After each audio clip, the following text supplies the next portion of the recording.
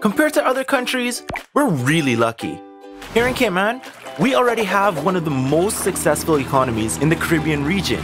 Our private sector generates most of the money government needs so that we don't even need to pay taxes like most people in other countries. Our tier 1 companies use the wealth they bring here to pay salaries to their employees and to buy products and services from our tier 2 companies.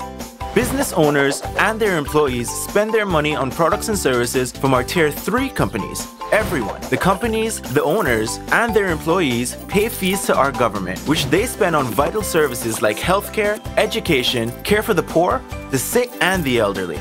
But our economic chain doesn't end with the government. In fact, it begins with the government. You see, our government creates the conditions that allow our private sector to be successful just think, without the courageous politicians and civil servants who created our financial service sector nearly 40 years ago, the Cayman Islands would be very different from the country we know and love today.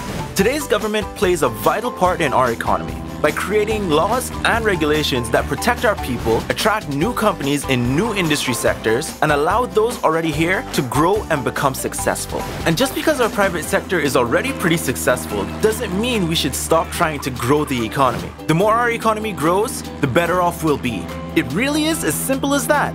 As your Chamber of Commerce, we know that a thriving economy is not the end goal. The end goal is a society in which our people are safe, happy, and healthy.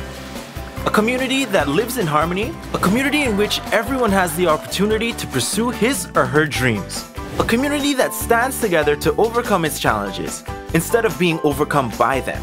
That's a community we can all be proud to be a part of. It's a vision the Chamber of Commerce is committed to. Let's make it happen together. Thanks for watching.